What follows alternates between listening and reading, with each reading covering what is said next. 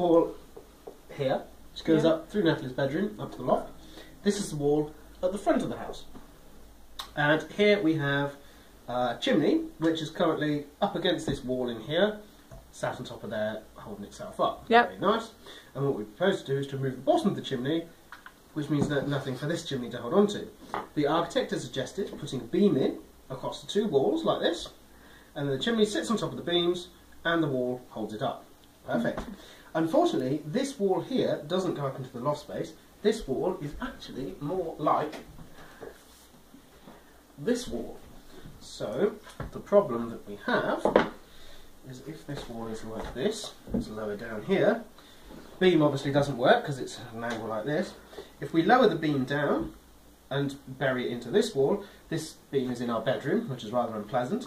If we build this wall up, then the beam sticks out the roof uh, into the middle of the road, so that doesn't work. So, the go back to the original thought of the gallows bracket, which would be a lovely idea. So the gallows bracket, I'll turn this around so you can you can see better. It doesn't use the front wall at all.